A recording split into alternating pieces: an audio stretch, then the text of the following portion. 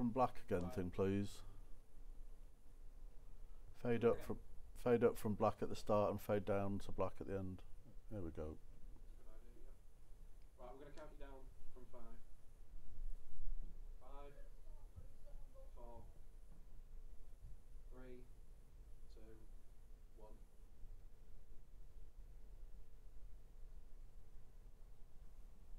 Hello. Hello. Um, I'm going to ask you some questions about the strikes. Have you have you heard of the strikes that have been planned for the first of February? Well, we're heading towards a general strike, I'd say, in this country at the moment. So you know everybody's jumping on board now, and it depends on what union you're in, Mm. whether it affects you here or not. But yeah, I've heard of it. Yeah. Yeah. Um. Will you be joining the strikes? So at the moment, I'm an agency temp here, and I'm not Yeah. in a union. I'm not in UCU, which is University College uh, Union. If you are in a union, if I was in UCU and they called a strike, you have you have to do it. Yeah. That's the whole thing. Um, as I'm not, and I'm a you know part-time agency temp.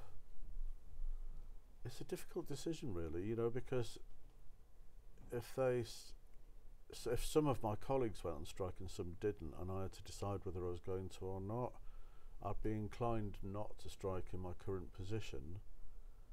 But I also do support it, Yeah. and so I actually don't. I actually don't know the answer to that question at this point in time. Yeah. Um, how have no, no. What, if anything, do you think these strikes will hopefully achieve?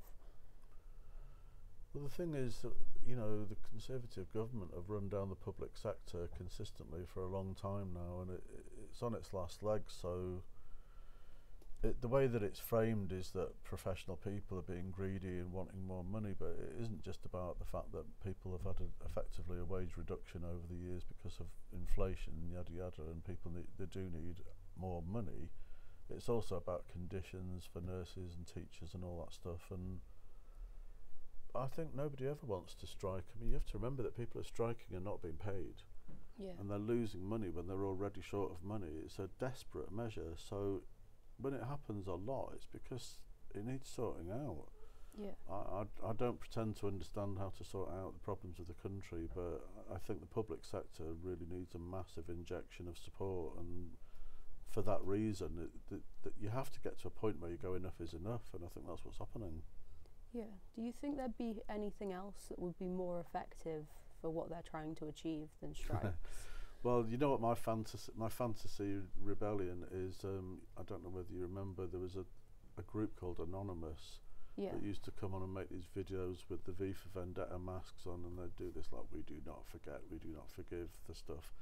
I'd be like, if they could do half the things they promised to do, like zeroing Putin's bank balance or something just brilliant like that. I mean, I feel like revolution could be more intelligent now. I, I do feel like standing on the street in a picket line is very old school, and there's nothing wrong with that.